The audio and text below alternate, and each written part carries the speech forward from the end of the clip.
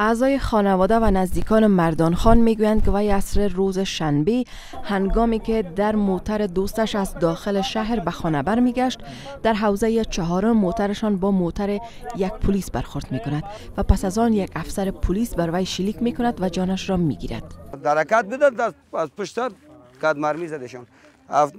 افتاش ده مرمی ده موتر خورده ولی دو مرمی ده. برادر مرا خورده. که یکی در تختی پشتش خورده یکی در موری کمرش. پلیس آمده همانند محکمه سرایی همانند محکمه طالبانی. فایر کرده استادم نکرده رفته.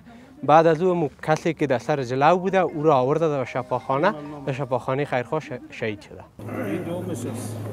مردان خان پنج فرزند دارد و از سالها بدین سو در کابل دکان وسایل برقی داشت.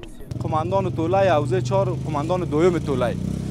مربوط از امور انجار بود پلیس خب خاطر زدن مردم نیست. نه یک اختطافچی بود نه یک دیگه بود یک دکاندار عادی. یک جوان سی و ساله. این کشته. حالا باید اینمی به جزای اعمالش باید برسه. فرماندهی پلیس کابل می‌گوید که پلیس پس از آن بر موتر مردان خان تیراندازی کرد که وی به دستور توقف پلیس در یک ایست بازرسی بی توجهی کرد.